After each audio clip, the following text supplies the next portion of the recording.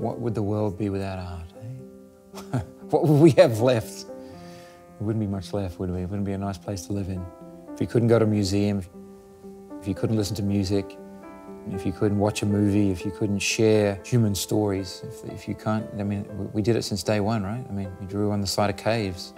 It's effectively what we're doing now. We're just telling the stories of who we are now for the next generation. And that's how we express it, you know.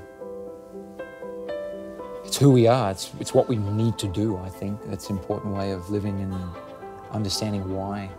why we do what we do. I don't think there'd be any person in the world who doesn't embrace art and the arts. And those who don't think they do, they do every day.